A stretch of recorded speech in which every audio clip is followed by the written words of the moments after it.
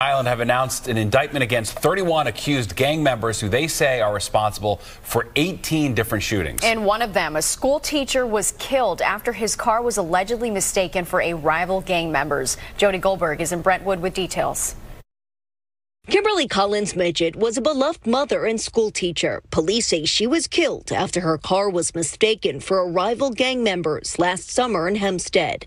Those responsible are members of the Bloodhound Brims gang, a subset of the Bloods, according to officials who say these surveillance videos helped crack Midget's case and nearly two dozen others since 2021. We have this leader in California working through proxies to tell young men in Nassau and Suffolk County to commit shootings and other acts of violence on behalf of the gang. The leader, Latique Johnson, who went by the pilot, was allegedly calling shots from his jail cell in California. Omar Barry and Josiah Herbert were at the top of the gang's hierarchy on Long Island.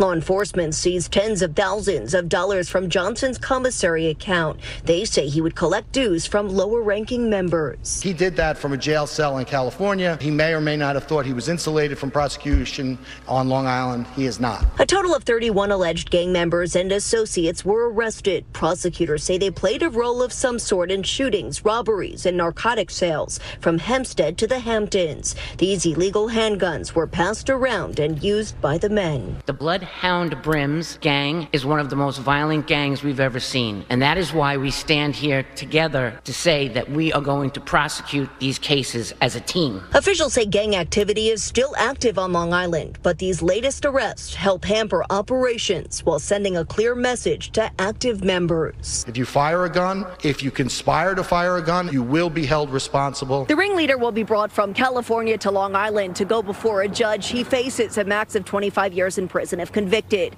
The goal, according to officials, is to hold these defendants on bail to keep them off the street. They're continuing to investigate and expect other arrests will follow. In Brentwood, Long Island, Jody Goldberg, Fox 5 News.